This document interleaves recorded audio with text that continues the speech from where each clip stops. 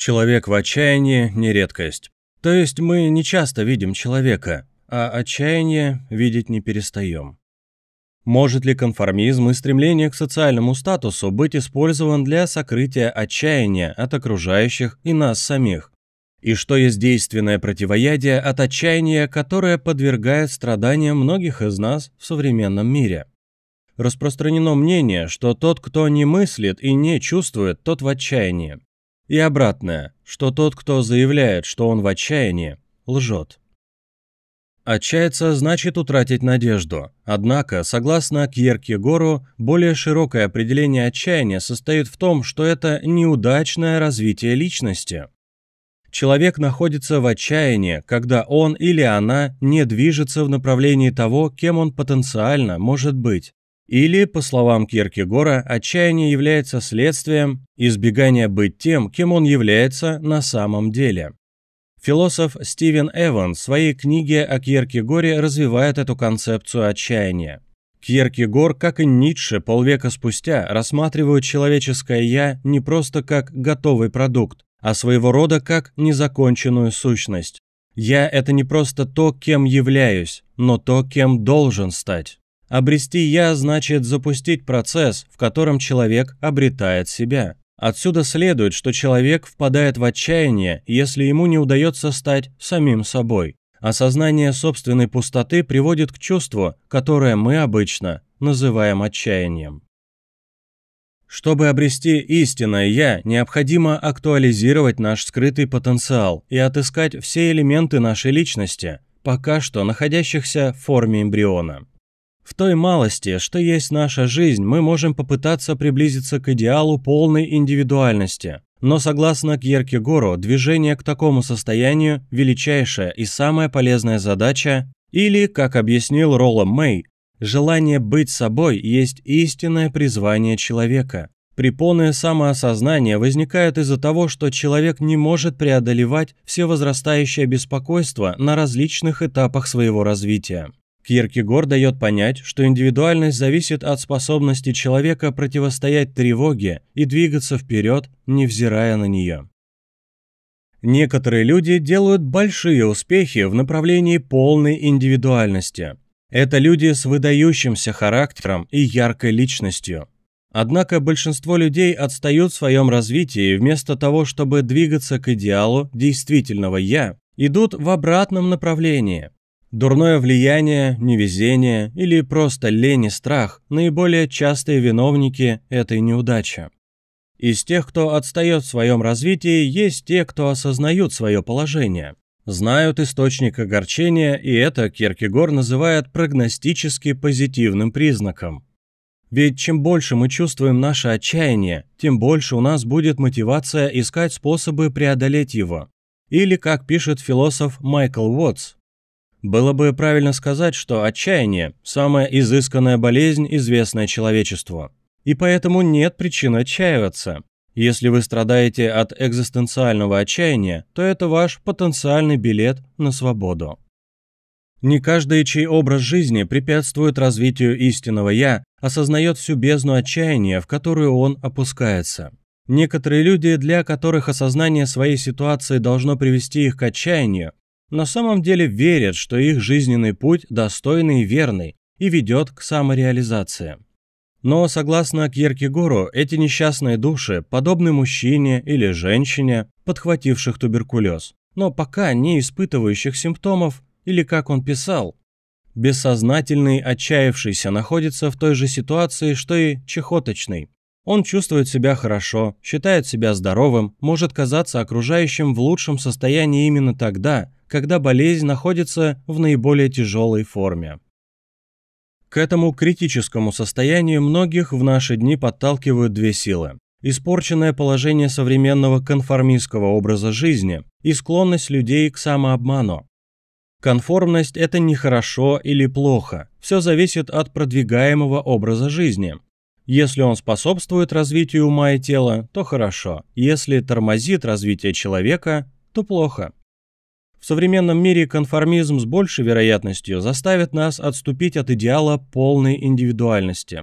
И это связано с чрезмерным вниманием, которое наше общество уделяет внешним атрибутам. Богатство, социальный статус, популярность, привлекательная внешность и власть являются доминирующими ценностями для современного конформиста. И это создает психологических коллег. Мир внутренний должен быть освоен так же уверенно, как и мир внешний. И это означает, что для того, чтобы культивировать полную индивидуальность, мы должны также сосредоточиться на внутренних ценностях, таких как эмоциональный интеллект, психологическая стойкость, смелость, честность, терпимость и способность принимать самостоятельные решения. Современный конформист, нацеленный на внешний мир, пренебрегая внутренними ценностями и пытаясь развивать свою личность, оказывается в отчаянии или, как писал Кьеркегор, видя множество людей вокруг, будучи занятых всевозможными повседневными делами, будучи мудрыми в повседневной жизни. Такой человек забывает себя, не смеет верить в себя, находит это слишком рискованным и полагает, что намного легче и безопаснее быть похожим на других, стать копией, цифрой, заурядным человеком. Эта форма отчаяния остается практически незамеченной. Именно так, теряя себя, человек получает лишь то, что требуется для безупречного существования в повседневной жизни. И да, он может быть визуально успешен. Вряд ли многие заметят его отчаяние, ведь он выглядит как и положено человеку. Естественно, в мире нет понимания того, что действительно ужасно. Отчаяние, которое не только не причиняет неудобств в жизни, а наоборот делает жизнь удобной и комфортной, естественно, никоим образом не рассматривается как форма отчаяния. Однако конформность способствует отчаянию и дает мужчине или женщине возможность отрицать свое положение посредством самообмана. «Как сложно не лгать себе», – писал Витгенштейн. И одна из форм самообмана конформиста – это утверждение, что в его образе жизни нет ничего плохого, а просто что-то не так с его внешними условиями. Не мы такие, жизнь такая. Я не поднялся на достаточное количество ступенек по лестнице социального успеха и не достиг достаточного богатства и статуса, утверждает конформист. Или конформист обвиняет друзей или членов семьи в своем несчастье. И в результате этих рационализаций и веры в то, что хорошая жизнь является продуктом достижения определенных внешних ценностей, он лишь множит приверженность конформизму и в процессе все дальше уходит от признания, что его отчаяние коренится в самой озабоченности внешним миром. Если самообман не в состоянии вытолкнуть отчаяние за пределы осознания, Тогда конформист прибегает к алкоголю, наркотикам или другим отвлекающим маневрам, чтобы спрятать истинную природу и глубину своего отчаяния. В какой-то момент ему почти стало ясно, что он в отчаянии.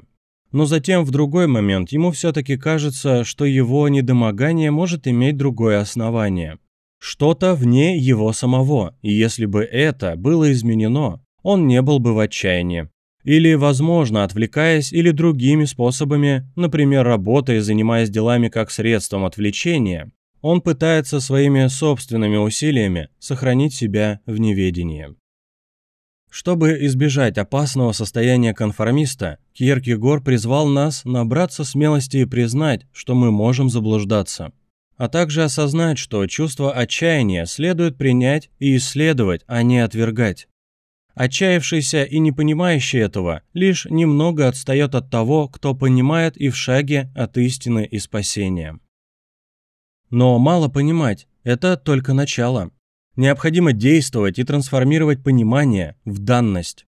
Поэтому Кьеркегор рекомендует выбрать персонализированный идеал для формирования жизненного курса, который способствует внутреннему развитию и овладению внешним миром поскольку это необходимо для достижений полной индивидуальности.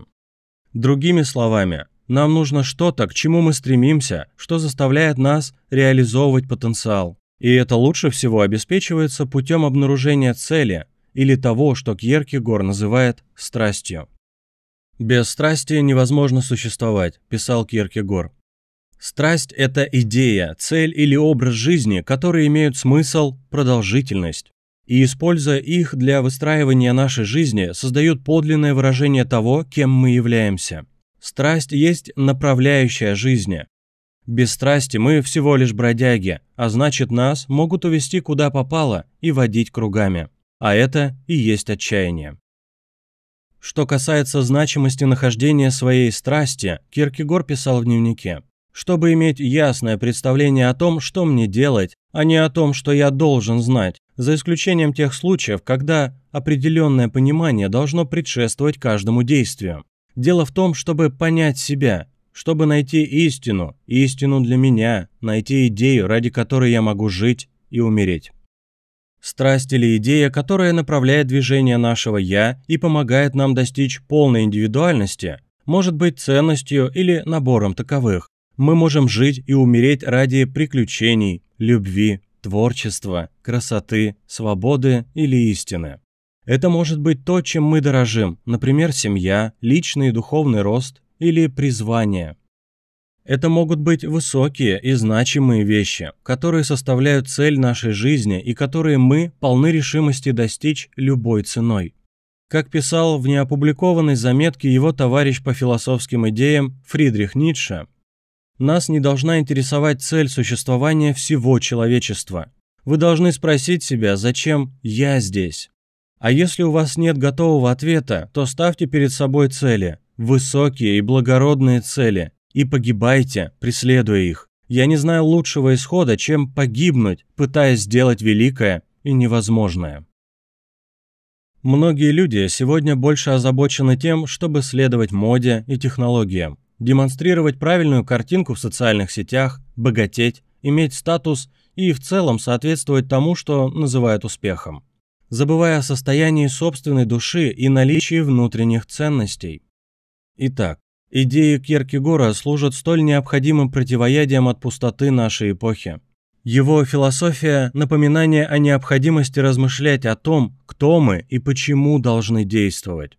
Его пронзительный ум помогает разобраться в самообмане и уловить мотивы, которые лежат в основе наших решений и поведения. Его психологический анализ заурядного человека подчеркивает важность размышления о том, действительно ли наша жизнь может стать предметом для гордости, или мы поддаемся самообману, отрицаем свое отчаяние и настраиваем себя на глубокое сожаление. Зачем человеку целый мир, если душу он свою разрушит? Или, как писал Джон Маллен, Сорен Киркегор был философом человеческого духа. Чтобы понять его слова, нужно бросить вызов своей личности, дознаться ответа на очень простой вопрос. Являетесь ли вы человеком? Существуете ли на самом деле? Вы относитесь к этому факту со всей серьезностью и уважением, которых это положение требует? Или вы бы предпочли избежать ответа на этот вопрос?